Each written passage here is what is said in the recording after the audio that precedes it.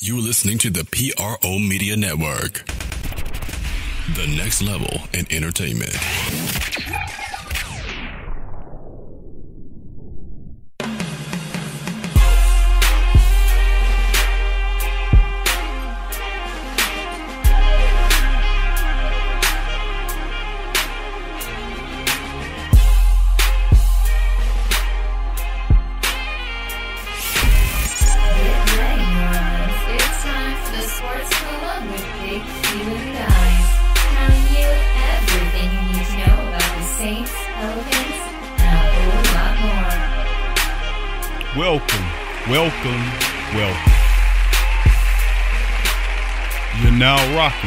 Sports Coma with Big Q and the guy. We have intense, entertaining, educating, and enlightening sport talk from your favorite sports family.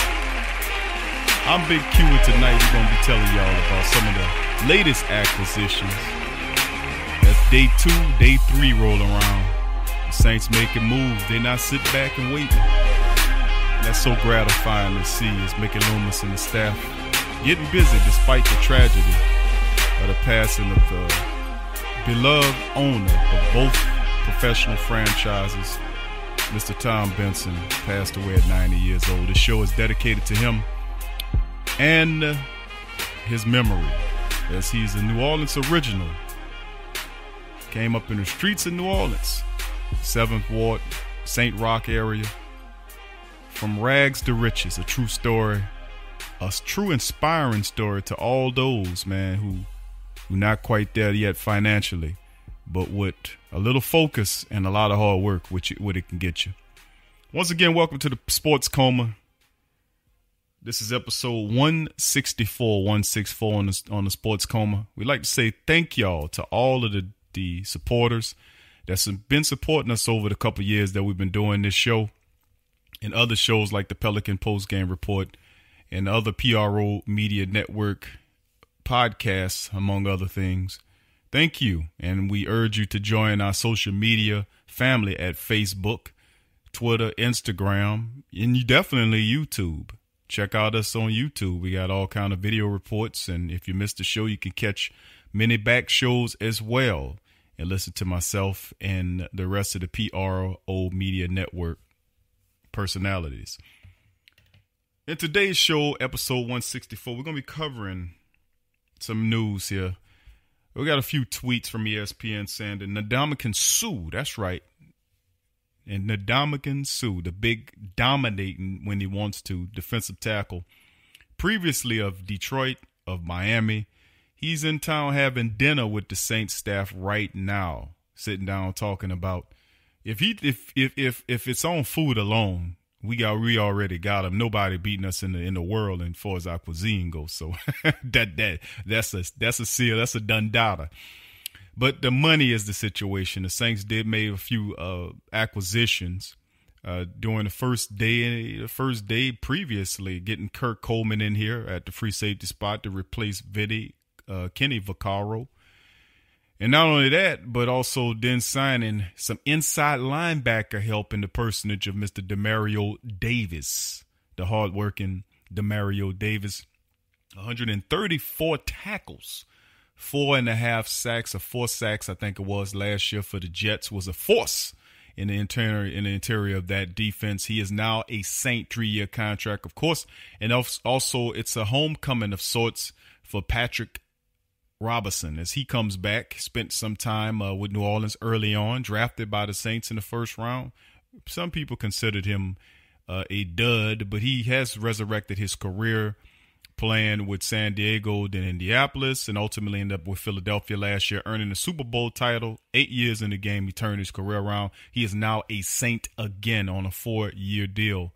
Uh, so congratulations to those guys. Now we talked about some of those guys earlier. Today, what we're going to be mentioning some other news that trans that that happened across the transaction wire dealing with the Saints. And of course, they're keeping busy despite the fact that Tom Benson, Benson's passing. They're trying to upload that, uphold that vision of Tom Benson going forward. They extend out punter Thomas Morstead, who's similar to Richard Sherman. He negotiated his own deal. They extend him out five years extension worth about 20 million. He's got roughly nine guaranteed. So you agents out there better be very careful because you might just become as extinct as uh, uh, uh some of the former NFL games from the 20s and 30s. You could be definitely become a dinosaur if this catching on. Because these players nowadays, they don't not only smart enough to train, but they're smart enough to negotiate themselves. They don't need you taking bits and pieces of their money anymore. So I mean, that might be that's definitely a burgeoning trend that smarter players, not everybody as good as numbers as some, but if you're not, then I, I, I urge you to get somebody you trust, a professional agent. But if you're smart enough uh, to handle the numbers, why the hell not, man? Why the hell not? Anyway, uh, we're gonna talk about that more. We're gonna break that contract down with Thomas Morstead. Tom Benson, we mentioned his passing at 90 years old. The team now, the both professional teams, both Pelicans and Saints, move over to Gayle uh, Benson uh, who is obviously is going to uphold the vision of Tom Benson and keep the team in place and continue to uh, empower these clubs. So that's good to know uh, that she won't, uh, you know, move these clubs anywhere. That's just uh, good. As Saints resigned Alex Okafor, who was with the Saints last year on a one-year prove-it deal. He finished through 11 games with 43 tackles and four and a half sacks. He was pretty damn good before he went down with that injury. Saints feel pretty confident in him. He went out to Tampa Bay, talked to them, and got close to signing. And the Saints say, "Hey, hold up, come on, come on back here, man. We don't need you tearing up Drew. You can be our man." So they signed him to a two-year deal, and uh, worth about 10 million. We'll get into that as well. The Saints also get some money back. So they give money, get money, and they get money back. A three million dollar credit for Nick Fairley, according to the NFL. Now, the NFL uh, says three million. It could be more. Of course, it's all this is not truly still worked out, and the Saints is looking for a good amount of money. But three million around now could really help, especially if you're staring them Ndamukong Suh in the face and saying we want you, we want to add you next to Sheldon Rankins, Cam uh, Jordan, and Alex Okafor. Hey man, hey, think about that. And uh, let's take about Saints also have another acquisition, another homecoming guy coming back in the, in the personage of Jermon Bushrod. Remember, Jermon Bushrod was here as before a fourth round selection for the Saints out of Towson. He is back after touring around the league. He was with Miami last season. He comes in and replaces one of my favorite football players, Senio Kelemete. Uh, so he signs a one year deal to basically come back and uh, fill that slot. He plays all over the line, uh, guard or tackle. I don't know about center, but uh, Kelemete will be missed. But welcome back, Jermon Bushrod, as he comes back to town. Now let's get into some of these stories on the sports coma. Starting off with the and Suh, Of course, we had to tweet uh, some time ago uh, about uh, about Ndamukong Suh. Of course, he was released a few days ago by the Miami Dolphins in a, a cost move try to free up some money. They have a whole culture uh, change that they're trying to in, uh, do in Miami, and a lot of those players, Maurkice Pouncey is another guy that wants out.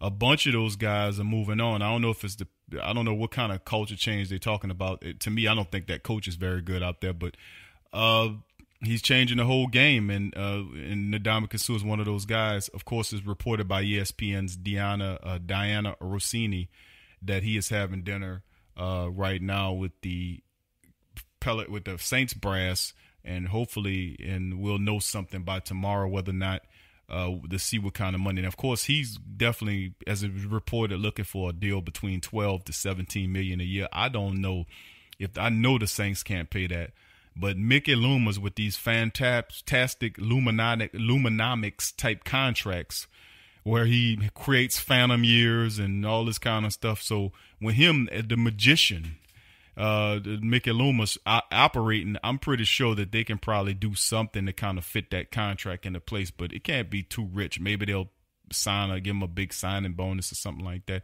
If anybody could pull it off, is what I'm saying, is Mickey Loomis. So that's what's being reported. We won't know nothing about this uh, until tomorrow because he has other visits set up as well. But the Saints, hopefully, they don't let him out the building. Adding Ndamukong Suh uh, next to uh, Cam Jordan and Alex Okafor and and Sheldon Rankins and and David Onyemata and Tyler Davison. Could you imagine?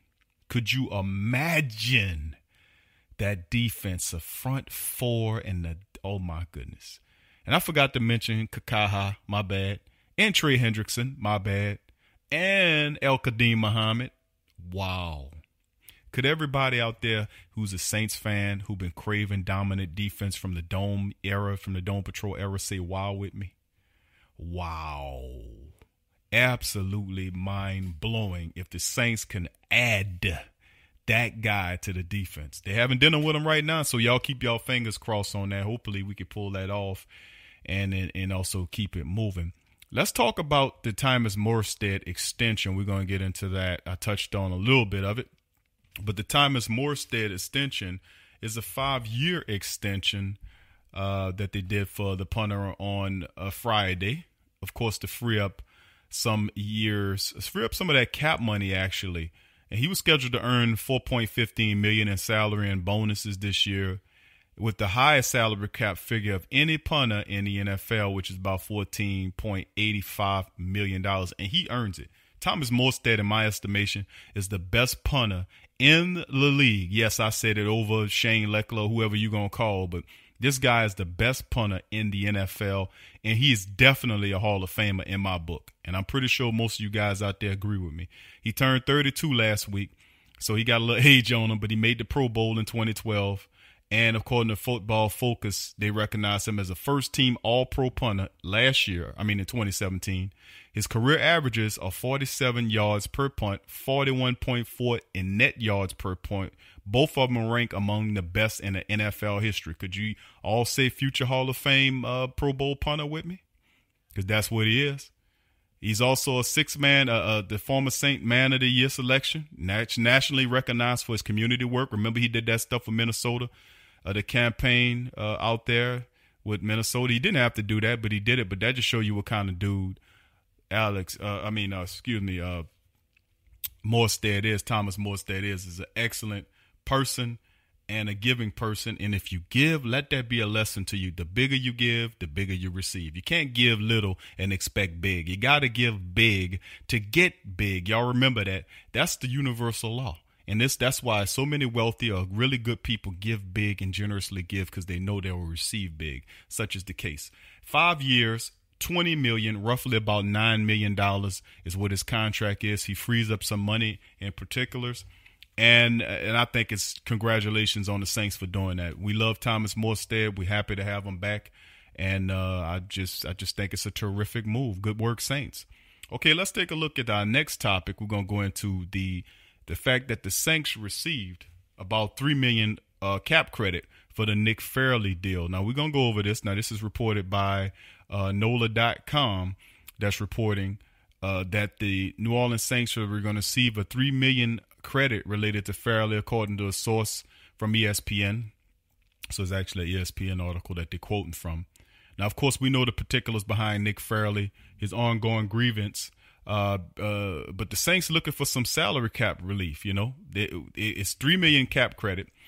Now, he signed a four-year deal with the Saints last March, but he, of course, we know in last March he never played in 26. Signed a contract with the Saints, but he never played in 2017 when they did it. Now, he had that heart condition, and of course, he couldn't pass the physical, so the Saints put him on the non-football illness list, and then ultimately released him in February. So his contract included about eight million dollars in signing bonus which should have been spread across the four years of the deal for salary cap purposes, but the Saints paid four million of the signing bonus before they discovered the heart condition. In cutting Fairley, the Saints escalated the remaining proration of the signing bonus, which would have been two million each year for 2018 to 2020, up to uh, 20 to the 2018. He was supposed to count for six million in dead cap space for 2018, but this but because the Saints only paid half the bonus, they received three million credit for that portion, which is better than nothing.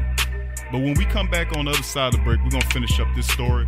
We also gonna talk about uh, some more Saints news. Saints Alex Okafor comes back, Bush Bushrod comes back, and other stories. You're listening to the Sports Coma with Big Q and the guys. Stay with us.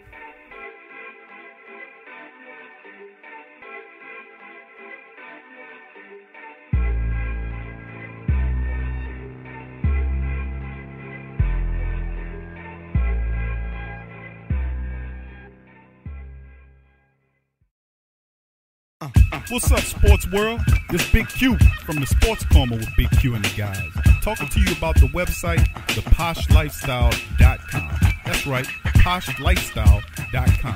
A great website where you can get great products at great prices. They sell organic herbs, vitamins, supplements, water filters for your home, EMF and cell phone radiation healing magnetics and healing crystals, personal protection devices like cell phones, stun guns, and mace spray, organic deodorants, shampoos, soaps, toothpaste, and more. They also sell 10A grade Brazilian hair. 10A music is available now. All kind of the latest downloadable mixtapes. So what are you waiting for? Head on over to the poshlyfestyle.com. That's the posh lifestyle, life spell with a Y, L-Y-F-E style.com. Put in the sports coma for the 10% discount on your purchase. It's a win-win. So get your mind and body right with the posh lifestyle. Get all the latest news and updates from your New Orleans Pelicans at the Pelicans Eye View. The new and official Pelicans Daily Journal, covering everything Pelicans. Attention, everyone. Get, get breakdown on games, free agent signings and potential moves, unbiased opinions and straight up facts with statistical analysis from G Valley. Go to www.thesportsdaily.com forward slash Pelicans dash I dash view. Wow, what a huge honor it is to be named NBA 2K18 Legend Edition cover athlete. I really wouldn't be here without the guidance, love, and support of my mom and dad. Also, I'd like to thank my coaches, both college and professional. But most of all, I'd like to thank Kobe Bryant. He was the NBA 2K Legend cover athlete first. He's so awesome and handsome and has really nice natural teeth. Wait, what? I'll be looking at his teeth. This ain't over, Kobe. Payback's gonna be fun.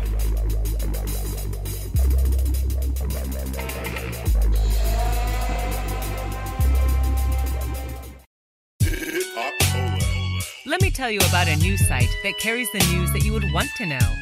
News that's not the same as the rest of lamestream media, but a site that lets you know about the most important news on health, economics, tech, entertainment, science, food, sports, world news, positive living, paradigm shift, and a lot more. Go to theposhreportonline.co. That's right, theposhreportonline.co. Learn more. And remember, challenge everything. Follow the Sports Coma on Facebook, Twitter, Instagram, and YouTube.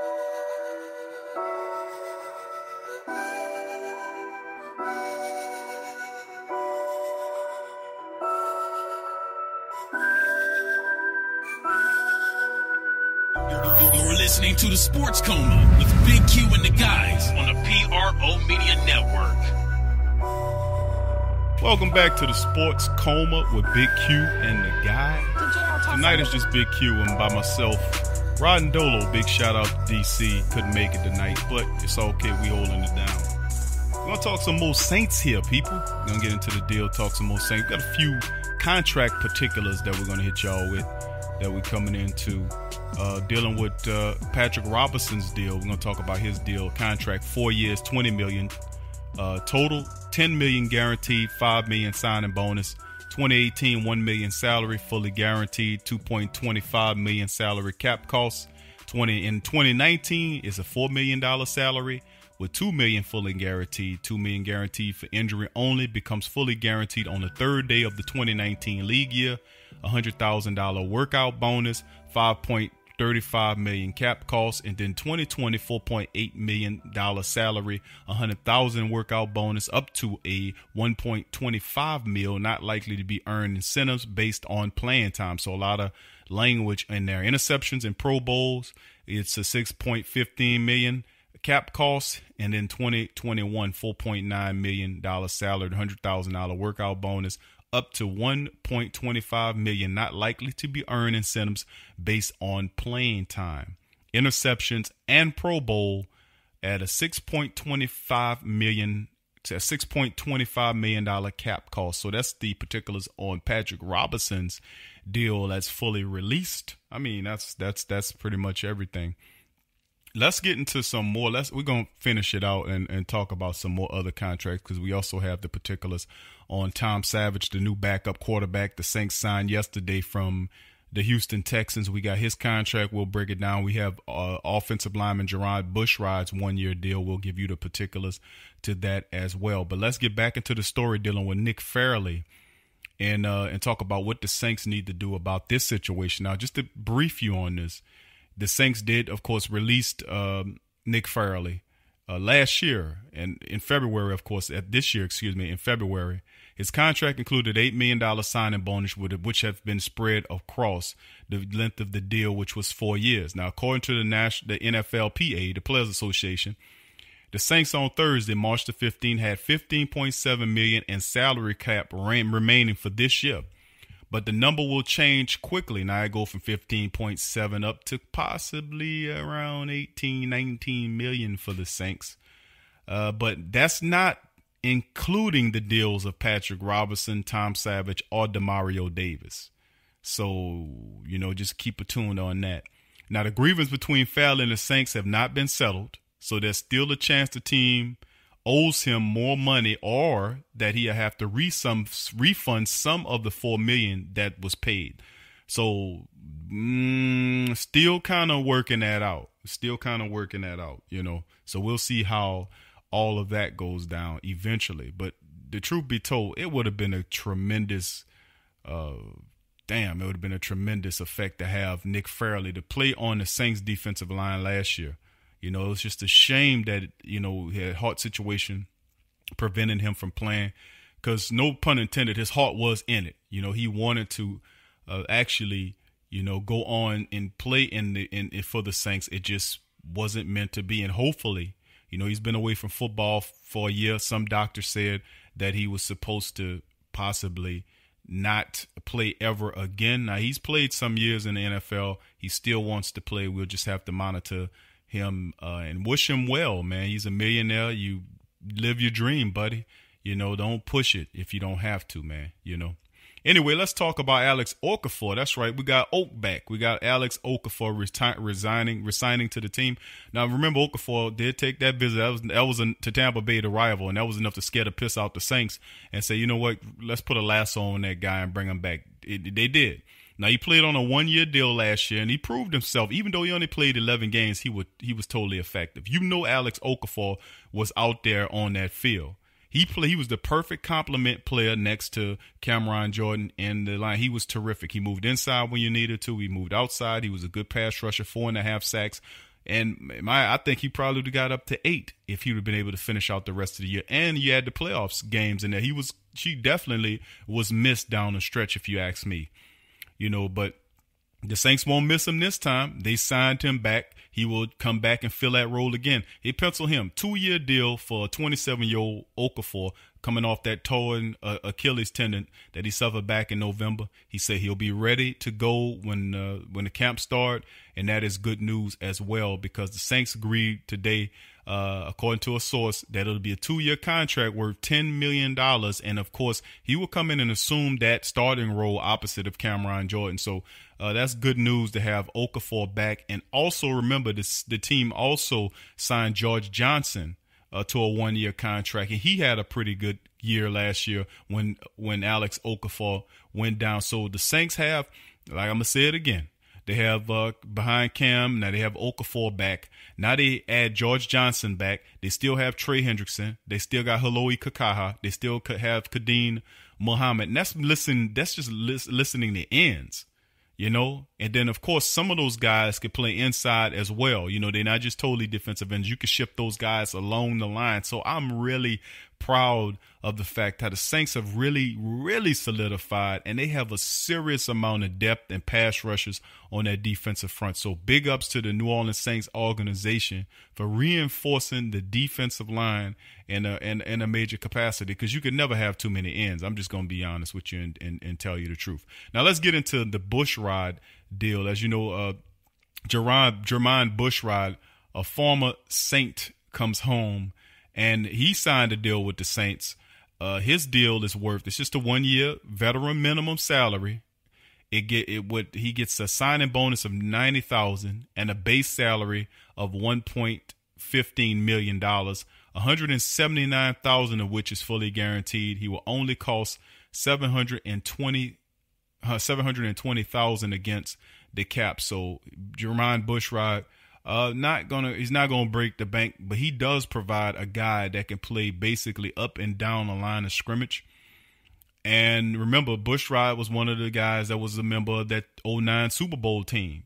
And it's good to have him back because we lose Saloi Kakaha uh, to a three-year deal, 12 million to the Houston Texans. We needed to replace him with somebody who had that utility uh, knife type style. You know what I'm saying? Somebody that could play up and down the line. And Bushrod is a guy that can play guard, play tackle. I don't think he can play center, but you know who knows.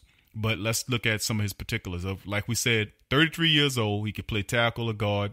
Uh, the Saints probably would have to, you know, that that was a pretty significant move.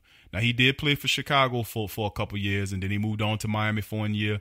He decided to leave and come back. He's a fourth round pick, like I said, out of Towson back in 07. Spent two years before he was thrust into the starting lineup because of an injury to Jammal Brown. Remember that dude? he started a total of 122 regular season games and seven playoff games in his 11 career. So Jermon Bushrod is back in a Saints uniform, and I just think that's absolutely peachy. I think that's absolutely awesome. So the Saints lose out on Clement uh, Senio Kelemete, and they bring another guy in that can ultimately help them. Now, we take a look at some of these moves. Then uh, let's let's recap over the first three days here, or two days, three days, whatever. Let's recap some of this stuff. The first thing the Saints did was, of course, bring they re-signed Drew Brees to a three-year deal, but breaks down to a one-year deal to have Drew back here, and they spread the money out and secure Drew Brees' services. Number, well, actually, that's the most important factor. The actual, really, the first thing they did was the signing of Kurt Coleman, who was released by the Carolina Panthers. He agreed to a contract before Drew but we're going to put importance of the team. We don't have a team without Drew. So we put Drew there at the top. Then, of course, you have Coleman. He signed his deal with the Saints to come in and replace Kenny Vaccaro. So the Saints didn't wait to go out there and say, okay, let's see what we're going to do. Tyrann Matthews out there. Eric Reid is out there. Uh, Tre Boston's out there. They have a very good amount of safeties that's floating around out there on the market. But the Saints said we got we like Coleman and we like what he can do and we're going to bring him in and make him the veteran of the young secondary duo. So they bring in uh, Kurt Coleman to be the veteran pair of eyes back there and replace Kenny Vaccaro in that role. So Drew Brees is your quarterback again. Uh, you got Coleman starting penciled in where uh, Vaccaro was last year, and then the Saints proceeded to go from there. Uh, the Saints also were able to do a, some other pretty solid moves. They brought in two new additions, which one one is really an old addition. They did bring in uh, Demario Davis. They needed help in the middle of the interior of the defense. They needed a leader, a bruiser, somebody that can give them a little bit everybody, uh, everybody a little bit of everything. He's an all around guy, doesn't miss any games. And when I when they signed him, I was a little kind of curious about it because he's 29 years old. You gave a three year contract to a 29, uh, 29 years near, near old guy. And I was like, wow, that's kind of something. But if you look at what his body of work is, this guy never misses games. You know, so the Saints are playing for his availability. So uh, your best ability is your availability. That cliche term is actually true because now Demario Davis gets paid with the Saints on a three year deal. Saints didn't stop there. They said we need to shore up our young secondary, we like him. We like Ken Crawley before we Milwaukee. We like uh, uh, uh, Marshon Lattimore, Defensive Rookie of the Year. We like uh, Williams, despite the fact that he gave uh, Minnesota that crap.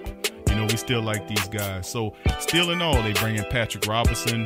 They bring in Jermon Bushrod to play Co Kelemete. They bring back George Johnson. They bring back Alex Okafor. They redo Thomas Morstead. I give them a big fat thumbs up. Good work, New Orleans. And it's talking to Ndamukong Suh right now. That's right. And if he's eating our food, we already got him. They're gonna take him to the facility tomorrow so he can look around. So hopefully we can put the cap on the fantastic free agent period uh, with Ndamukong Suh. So stay tuned on that. That'll do it for tonight. Thank y'all for listening to the Sports Coma with Big Q and the guy. And as always, you can join us on social media via Twitter, Facebook, Instagram. Go on YouTube, the Pro Media Network. You can listen to all our content, share video reports, and everything. Peace.